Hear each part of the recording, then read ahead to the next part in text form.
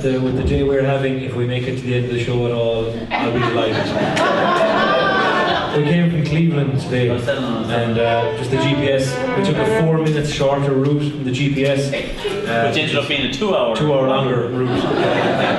we got to see the lovely forest you have here.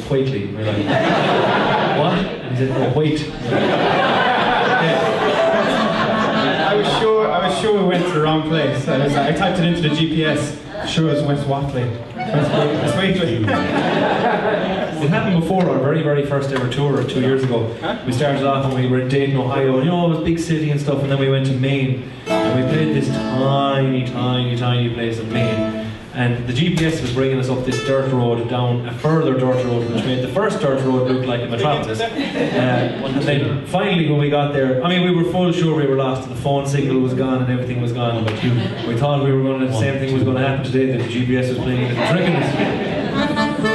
One, two. It was actually an hour before we got to the. Uh, it was still there was still an hour left in the GPS, and then it, it turned up this road, and I'm not joking. It said dead end. when your GPS is telling you that an hour before you get there.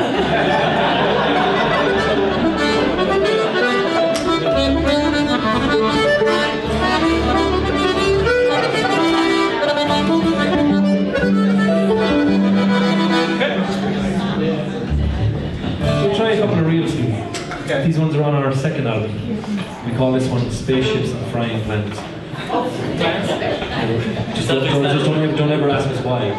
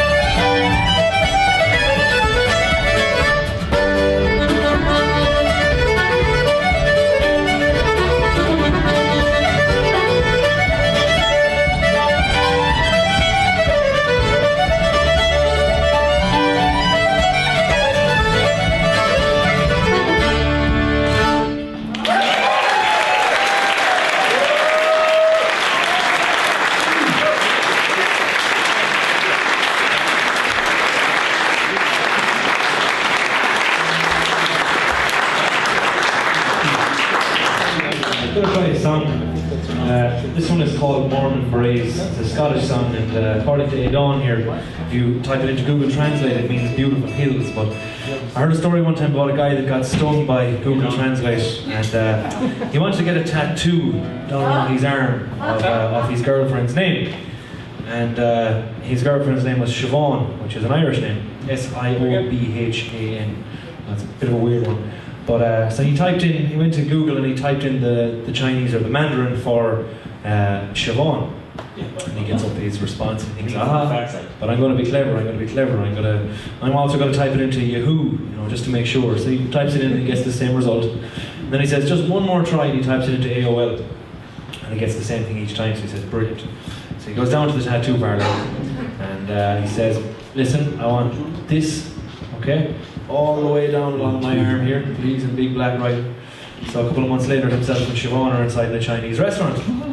And sitting down, and the waiter walks by and he says, Excuse me, do you mind me asking, why did you get that on your arm? And he said, in total smugness, well, actually, uh, this is uh, the Mandarin. I thought you'd know that. This is the Mandarin uh, for Siobhan. This is my girlfriend Siobhan, you see. And the waiter says, Sorry, buddy, that means search not found.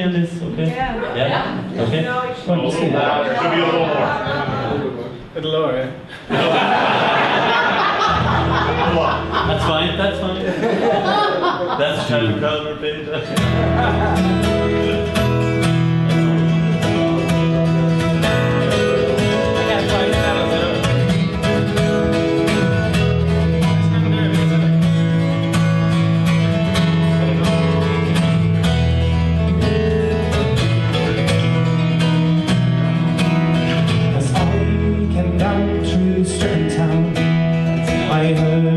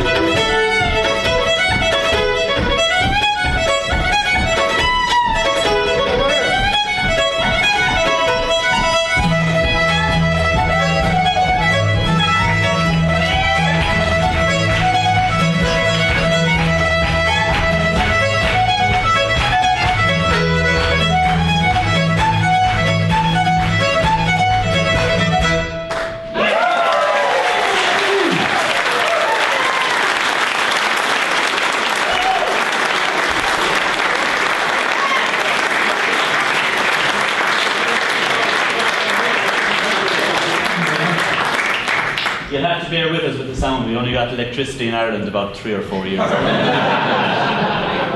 Do you know how I can tell that you're all uh, you're all well used to coming to trad series? Is that when people come and it's their first time, it's their first time playing trad, or sorry, their first time seeing a trad concert, they get really caught up with the energy, you know. And it starts off, and they're all, yeah, clapping mad right from the start. But, you know, some of these trad sets can take a long time. so, you know, they're going mad. It's like, yeah, yeah. Two minutes later, it's like. Two minutes after that, it's just like, yeah, whatever. you people are experts, clearly, you just hold it all to the end, so. it's the same with dancing. Sometimes, you know, some people just start dancing and they just don't know when to stop because, I mean, with Irish, with Irish dancing, the idea is that you do a step with the right and the same step with the left, and then another step with the right and the same step with the left, and generally maybe one more step with the right and the same with the left, and that's it. We were playing in a, we were playing in the local pub years ago, and this guy comes up to us and he was from somewhere in Europe. Thank you. He was from uh, somewhere in Europe. And uh, he says, uh, Do you mind if I dance? And I said, No problem, sure, you know, you're very welcome. And uh, this was clearly the fittest man I've ever seen in my entire life. because someone, whatever, like he learned obviously a lot of Irish dancing, but someone didn't tell him about the whole dance two steps and stop. So he was waiting for the music to stop. Uh, and we were kind of waiting for him to stop. So it occurred to us like, I mean, and a typical dance would last maybe a minute. So after about six minutes, we were kind of looking at him going, maybe he doesn't know how to stop. So we kind of said, well, we just keep going. We keep going for the fun of it. The sweat was just down. I mean, if we kept going, it was just going to be a, two, a pair of dancing shoes in a small puddle of water. So we stopped, and he, you know, he sat down, and I mean, I was there thinking, this guy's going to sleep soundly for a week. and then ten minutes later, he had the stupidity and the audacity to come back up and say, "Do you mind if I dance again?" You're very, very welcome to do so. That was a long set. Our fingers were hurting after that one. You can imagine the condition he was in at the end of that one. I'll try a couple of jigs off our brand new album. When I say brand new, I mean we only actually saw it for the first time about five days ago. In, alright?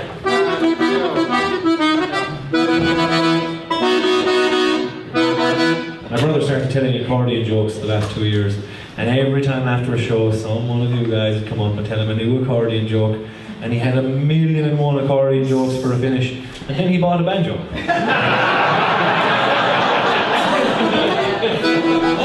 what do you call a beautiful woman on the arm of a banjo player? A tattoo. They say the definition of a gentleman is someone who can play the button accordion but chooses not to. You're playing a banjo. Shut up. He's not playing a real instrument, you know. Why not? Be gentle my younger brother. It it wasn't easy for him growing up in the shadow of a titan. Shadow,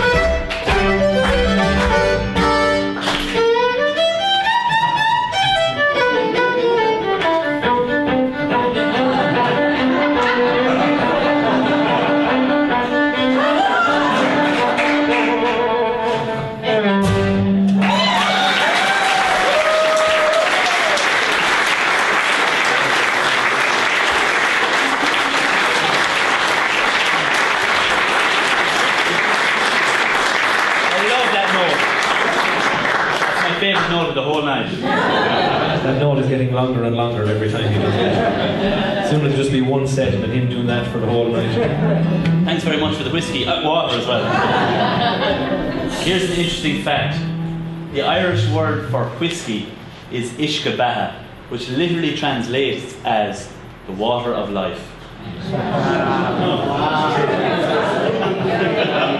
Did you hear about the, No, that's true, yeah. Did you hear about the Irish guy that got pulled over by the cop? He was he was swerving left and right either side, you know, and the cop said, Oh, there's something up here and here. So he pulls him over and uh, comes up to the side of the car and he rolls down the window and the stink of alcohol comes out and nearly knocks the cop. You.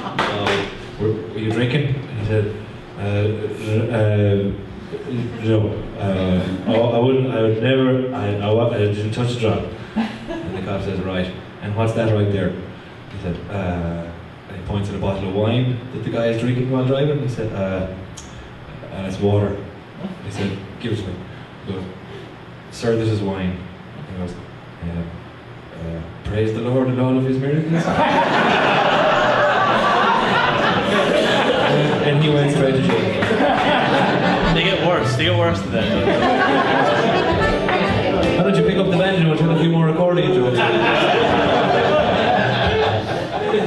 Trying to try another song. This one was on our first album. This one is called Slip Jigs and Reels. He was barely a man in his grandfather's coat, sawn into the light in a ten shilling note. So goodbye to the family, goodbye to the shore. When a man takes his fortune, you see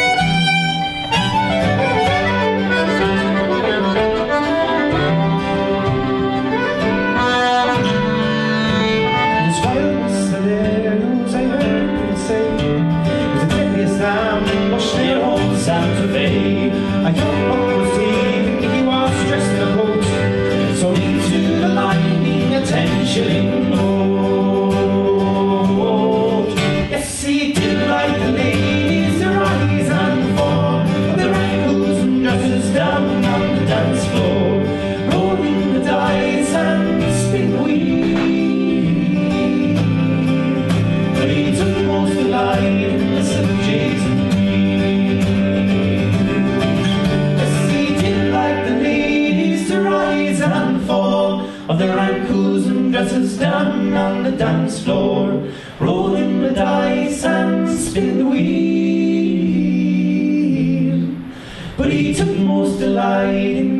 The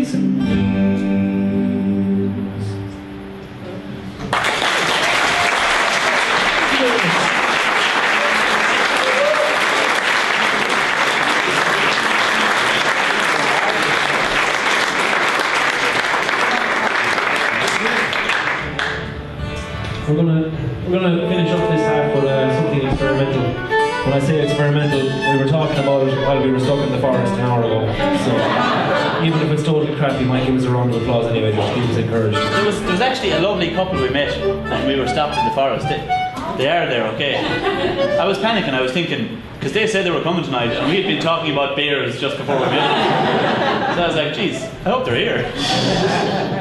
We don't have bears in Ireland. Well, there's nothing in Ireland that's ever going to catch you. I mean, if you were sleeping outside in the grass, the worst thing you're going to catch is a cold.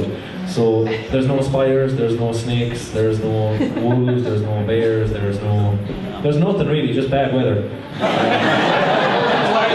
There's nothing there. Yeah. And accordion players, unfortunately. Just a lot of miserable Irish people who are always giving out about the weather. But we, we were in Michigan about a year ago, and it was uh, it was during March. We we were brought out ice fishing, and like I mean, we were sh- we, surely there's no such thing as ice fishing. I mean, like, it's wet and cold in Ireland, but it's never that cold. You know? So we just have the worst of every possible world of weather. So they brought us out fishing anyway, and uh, as we were walking out, you know, there was something. We, we just had this un- of bad feeling, and I said, "Is there any?" Uh, is there any wolves around here? And said, No, no, no, no, no. Not that I know of. So, this is the guy that was bringing us out. So we were sitting inside in our little tent, I suppose, is that what you call it? A Shack. Shack, ice house, the yeah. only word for it. And uh, we were fishing for like two hours, and we were full sure that they were just, ah, let's play a joke on the Irish. Come to Ireland and you can go leprechaun hunting. Ice fishing. Now, I don't like to claim that he did catch something. He basically caught a goldfish. I mean, I'd say the little thing that was on the hook just ate a stone and looked a bit bigger when he pulled it back up. So then we were kind of there for two hours and we kind of started talking about how we don't have wolves and stuff in Ireland as well. I said to the guy, you know, I said, would, they, would the wolves ever come down here? And he goes, no, no, no. Well, you know, if they felt, you know, hungry. As he said it, I hear the, oh! Good night and thanks. we were basically back inside within two minutes. so we're going to finish the first half of this one. If you want to come say hello during the break, or we have CDs outside as well. So uh, please grab one. Sorry, I keep saying grab one. Uh, buy one. I've made that mistake before. Sorry again, guys. Thank you for bearing with us with the sound and everything. So, see ya.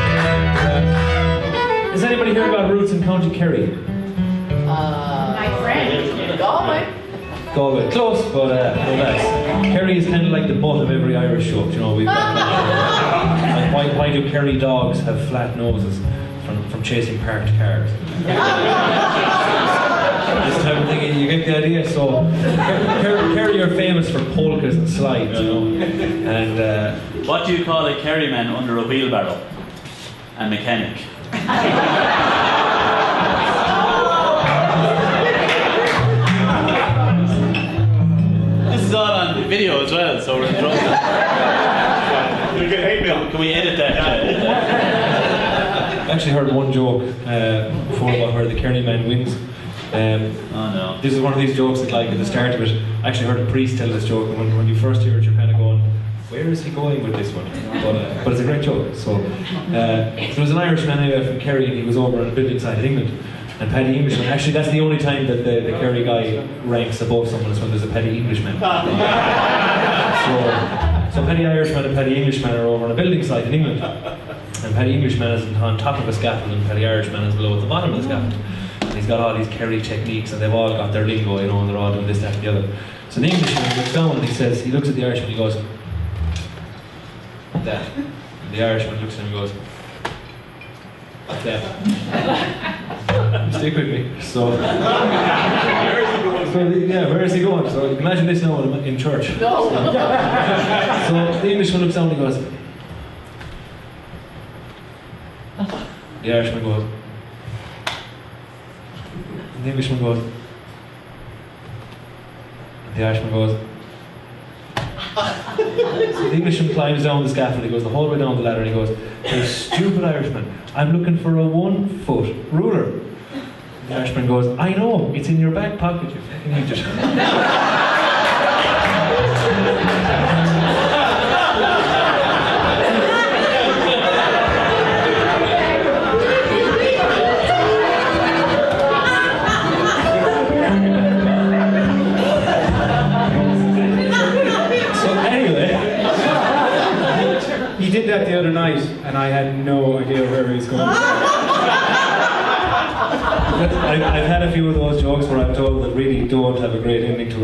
feel the guys on stage going, oh, you know, and searching in his back pocket for the car keys to just get ready to roll off the stage.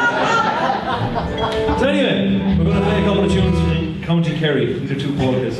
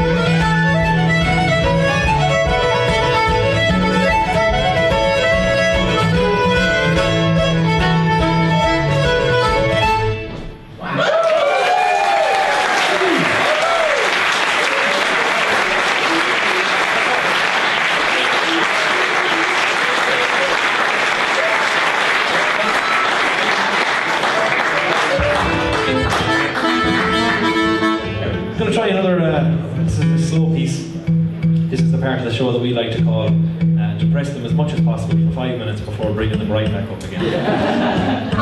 this is a piece called The Last Waltz, or uh, Julian's Waltz. And if I'm ever playing to a crowd that aren't listening, I always say, you know, this is, this is called Julian's Waltz. This is the last tune played on the Titanic.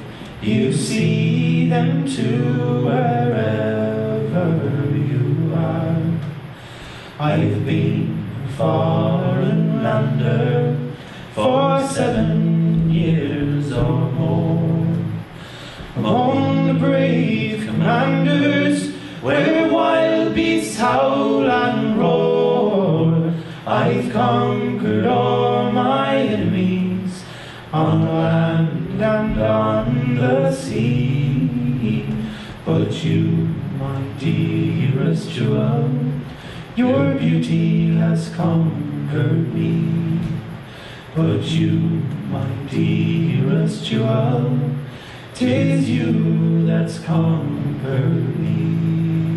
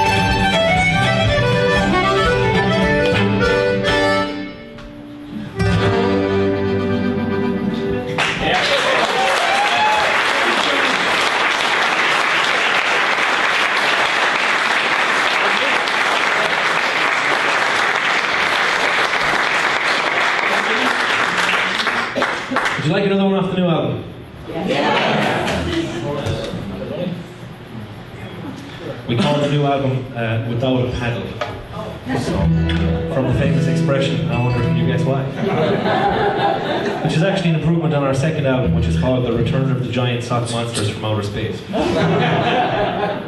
No explanation needed there, really. Or the first album, which is just self-entitled Socks in the Frying Pan. If we were to make a list of questions we get asked, uh, where did you get your name from? just when people kept asking us that, we had to, we made a point of saying every album has to be just more ludicrous than the next one. That's also Shane's best impression at an American accent. That's really good. Don't encourage it. He says it's not good, and yet every couple of days I'll call now and again, I'll call his room and go, uh, is this Mr. Hayes? Are you checking out with us this morning? every time he'll go, uh, sh- uh, sure, yeah, yeah, let me just get my stuff together. Yeah, yeah. Really, I'm, I'm just humouring him so I don't hurt his feelings. I turn over and fall asleep for another seven hours. We get asked all the time, you know, about the names, because Shane is easy to remember, but then we have Fiachra. What? Fiachra. Bureaucrat? There we go. Not really, no. Fiachra. It's an Irish name, yeah, Fiachra. Spelled as it's pronounced. It's spelled F-I-A-C-H-R-A. So it's a bit mad. Then you have Aodán, which is kind of like Aiden, except Aodán. It's like the Irish version or the Gaelic version of Aiden. But there is no there is no uh, English version of Fiachra. But every time every time we meet new people, they kind of it goes, oh, I'm Shane, and it's like, oh, hi, nice to meet you, Shane, and then it's like a freak, freak, freaker, freak, freaka, freaka, secret, bureaucrat. Bureaucrat, bureaucrat, Yeah, we can bureaucrat was a new one. I'll give you that. can add that one to the list. Then we get to Aodán, Agon, Avon, Acorn. Uh, I kind of got fed up with that because it was like, oh Shane, that's the easy one. I remember that one. So I started. We, I kind of started doing it to a few different people that we'd uh, we'd meet them new and they'd say, this is Aodán, Agon, Avon, Acorn, the, the usual, and then. Freaker, Secret, Freak, Secret. Then we got to me and I'd say, Hi, my name is uh. It's, it's, an old, it's an old Irish spelling. B B B B B. Symbol. Hashtag five. We do love rising, you guys. You know, like I mean, I just find that Americans just tend to rise to it all the time. We have great fun over here. Like we go into Dunkin' Donuts and say, uh, "Have uh, Have you guys got any uh, dairy-free, sugar-free, gluten-free, fun-free donuts?" Uh, um, no, no, sir, we don't. That's okay. Can we just get twelve Boston creams? I got a, a coffee today in Dunkin' Donuts. We, we didn't get any donuts, I, I swear. So I, I got a I got a cappuccino, and she said, "What flavor cappuccino?" I'd never heard of that ever before. And I said, presuming presuming there might be like one or two flavors. I said, "What what, what flavors do you have?" And she said. Well, we've got anything you want. I spent about five minutes listing off different flavors. I went for butter pecan, which was nice for about one sip of it. That's that's pecan to you guys. Yeah. When we first arrived here, we We should have started saying- subtitles, really. Yeah, we need subtitles. First, do you like the accent? Do the girls like the accent? We discovered that on our first trip over. So whenever we pass, if any of the guys ever pass a pretty girl we're inside a supermarket or something, I'll know immediately because I hear just, I mean, they come out with the most stereotypical Irish accent ever. And stuff that we never say like, oh, top of the morning, what time are we having the potatoes tonight? Mind you, it hasn't been working very Oh, well. that's. We didn't get out of a speeding ticket though. That that kind of helped. Pulled us over and said, uh, you know, he, he said we were driving somewhat erratically. But uh, then he said, uh, we, were, we turned on the charm immediately. Hello, officer, how are you doing? Top of the morning to you. Uh, with the shamrocks and the leprechauns. you guys are from Ireland? We're like, no, we, we are, of course, yeah, absolutely. He said, uh, is that where they say bloody? Yep, absolutely, officer you, fall. fellas take it easy. Have a good day.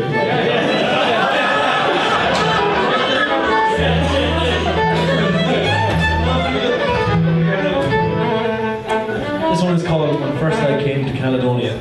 The storyline. Uh, we, went, we did a, a Disney cruise recently. so. We didn't have to dress up though, you know. we didn't have to dress up. So, so we went from up to Boston, and then from Boston to Nova Scotia. And uh, we went to a place called Sydney. Yeah. And uh, basically, we picked up this song here. Picked it up from there. And it's called When First I Came to Caledonia. And it's all about the islands around that location.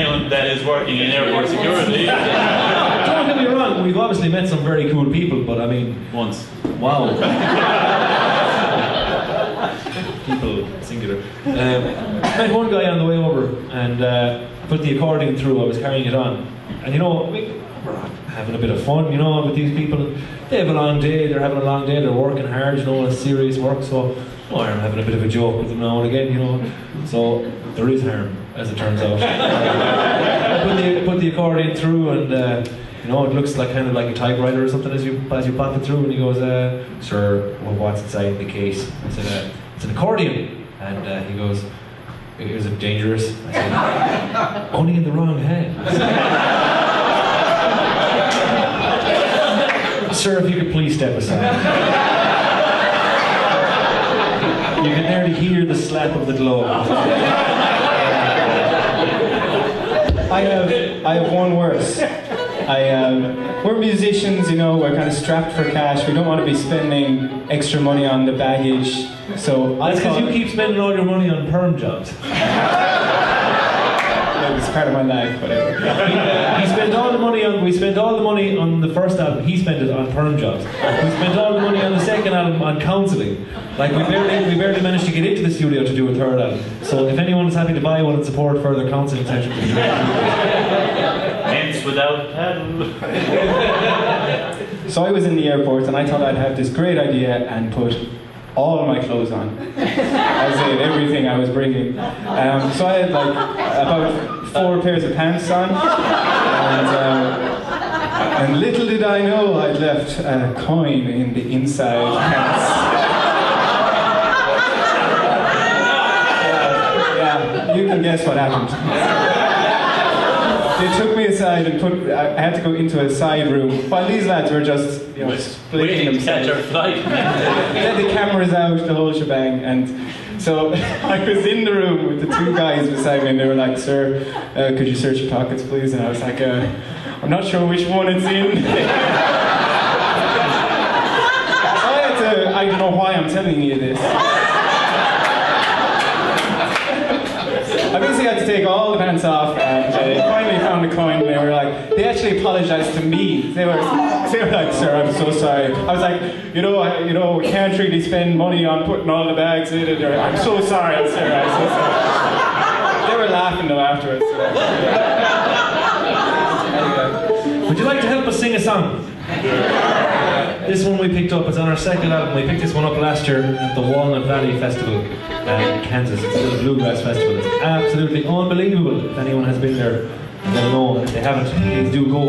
It's, uh, it's an old American classic. So, is there any bluegrass fans here? Yeah. We saw you had uh, Tim O'Brien here. Yeah. Yeah. Well, we, So cool. we apologise in advance for the amateur butchering we're about to do on this bluegrass classic. It's called, it's called Rolling in My Sweet Baby's Arms. You heard of that? That's also three quarters of the lyrics. So uh, if you don't know it, you now know most of it. So we're going to hear you singing this one.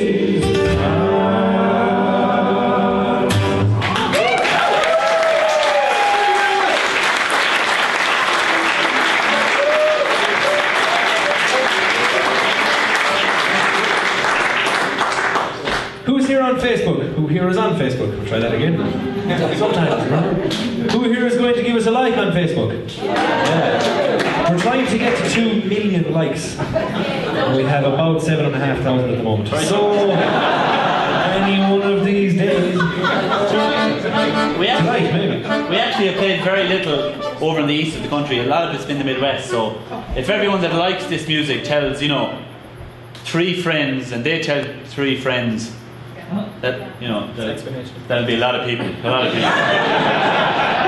panic, panic. Math is not my brother's strong point. Can I just get a show of hands? Uh, I was talking to some people outside, and everyone I talked to seemed to be a musician. Who's a musician in here? Oh yeah. That's good for you. That's a terrible Why did, experience. you, why did you tell me that now? Someone told me at the break, I was thinking, oh no, I got away home. This is terrible. Well, at least I love these gigs. You know, they're very intimate, so you can hear all the Shane's mistakes and stuff. So Tells you what, folks. I think you like each other. I think so. Well, place your bet. I would like to congratulate my brother though. Uh, last year he actually won the 2015 um, Irish Music Association Award for the best player of his chosen instrument. Isn't that, uh,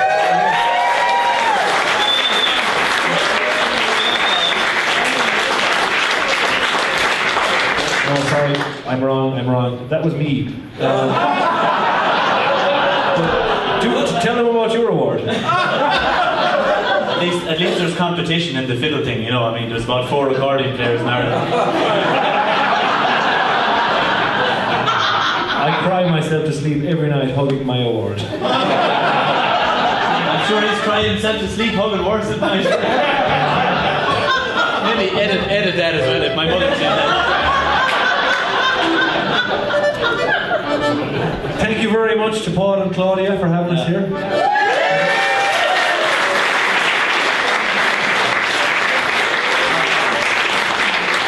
And to Rebecca, who was obviously drunk the first time she came. Had to come and make sure we were just as bad sober. And I just say as well, thanks very much to Paul and Claudia as well, because these sort of venues are like they're supporting live music, you know, and the festivals are great. They're big festivals, but we absolutely love playing little, you know, small little intimate gigs like this. So it's supporting live Yeah. music, and it's a really cool thing you've got going here. So keep it going. And, and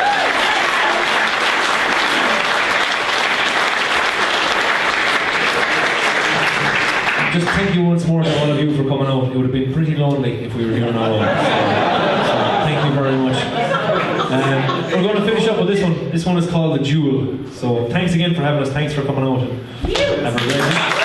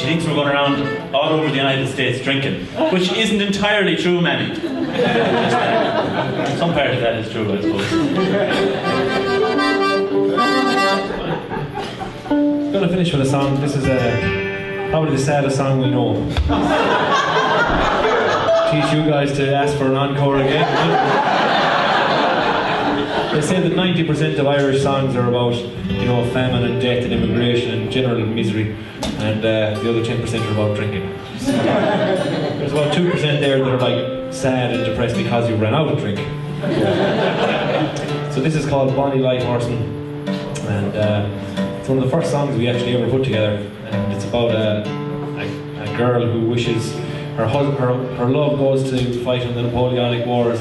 You know, now I just figure out where they come from. They're grey hairs, Shane. Eh? I keep having these dreams that like horses are coming into me in the middle of the night, and I'm So oh, the love goes and dies in battle, and she wishes she could be a little bird to fly over Beauty. So like I say, the saddest song we can possibly sing. One more time, thank you for coming out and made the drive very much worthwhile. So. Yeah.